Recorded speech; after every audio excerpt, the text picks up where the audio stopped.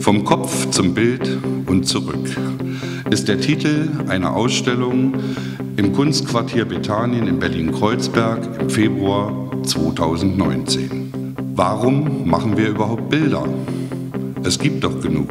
Sie sind allgegenwärtig, um uns herum, in unseren Handys, auf unseren Tablets, manchmal noch in Alben geklebt.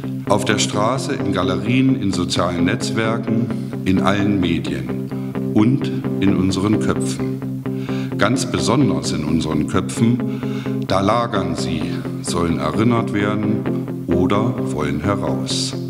Jetzt sofort oder doch erst morgen? Vielleicht ist dann das Licht schöner, die Wiesen grüner, der Himmel weiter und ganz bestimmt nehme ich mir die Zeit dafür. Jetzt ist morgen und alles so, wie ich erhofft hatte. Es kann endlich losgehen. Aber wo finde ich das, was gestern noch so stark in meinem Kopf pulsierte? Wo ist es, dieses Bild? Dieser Frage wollen wir nachgehen in der Ausstellung, die wir am 8. Februar eröffnen dazu laden wir euch recht herzlich ein.